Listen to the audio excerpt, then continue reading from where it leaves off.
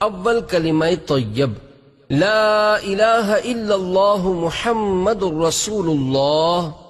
دوسرا کلمہ شہادت۔ اشہد ان لا الہ الا اللہ وحدہ لا شریک لہ واشہد ان محمدا عبدہ ورسولہ تیسرا کلمہ تمجید۔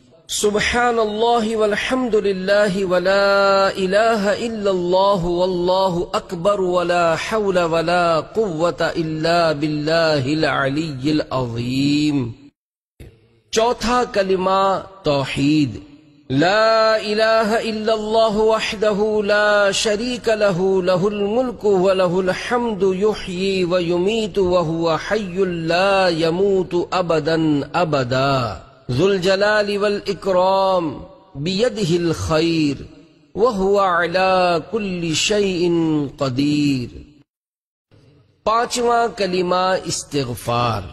استغفر اللہ ربی من كل ذنب اذنبته عمدا او خطاء سرا او علانية واتوب اليه من الذنب الذي اعلم ومن الذنب الذي لا اعلم انك انت علام الغيوب. وستار العيوب وغفار الذنوب ولا حول ولا قوة الا بالله العلي العظيم.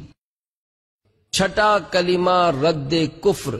اللہم انی أعوذ بک من أن اشرک بک شیئا وأنا أعلم به واستغفرک لما لا أعلم به تبت عنه وتبرأت من الكفر والشرك والكذب والغيبة والبدعة والنميمة والفواحش والبهتان والمعاصي كلها.